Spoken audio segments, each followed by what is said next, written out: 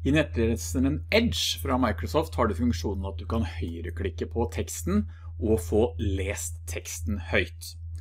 Det finns ikke i Chrome ennå, men det finns mulighet til å laste ned en add-on som gjør samme jobben for deg.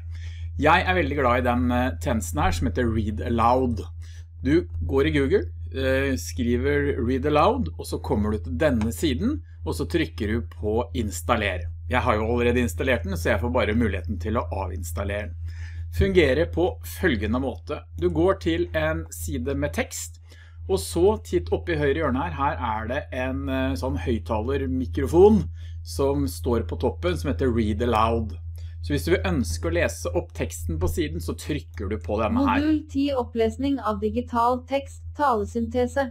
Talesyntese er programvare som avkoder digital tekst og leser den høyt. Syntetisk tale gir deg hjelp til å Her kan du trykke deg fremover, avsnitt for avsnitt. Her kan du trykke stopp, og du har også muligheten til å trykke pause.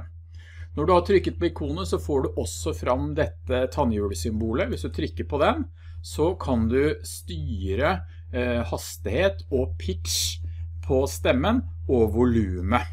Eh, Den oppdager automatisk hvilket språk den er på selv, slik at den leser det språket som er tilgjengelig. Eh, Read Aloud støtter hele 40 språk. Dessverre så er det enkelte websider den ikke fungerer på. For eksempel her er jeg i Word Online, og her sier han rett og slett at jeg klarer ikke å lese opp denne siden. Hvilken sider han klarer å lese og ikke lese må du nesten prøve ut på egen hånd.